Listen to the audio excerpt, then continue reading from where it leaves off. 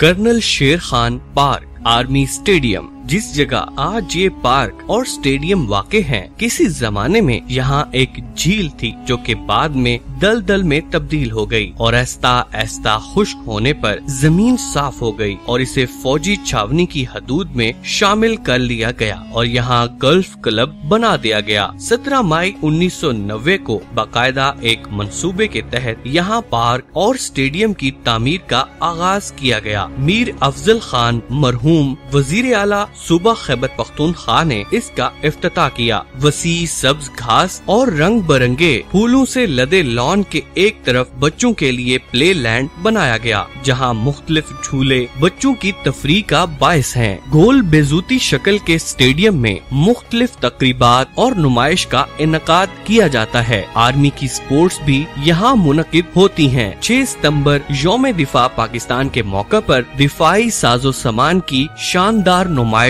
अवाम के जज्बा हुबुल वतनी को उजागर करने में बड़ा अहम किरदार अदा करती है। सबका दौरे हुकूमत में आर्मी स्टेडियम और पार्क का नाम वतन की सलामती और तहफ़ की खातिर दुश्मन की आँखों में आँखें डालकर जाम शहादत नोश करने वाले कर्नल शेर खान शहीद निशान हैदर के नाम से मौसूम कर दिया गया। ये पार्क खैबर रोड पर, बरलब सड़क पर वाक़ है।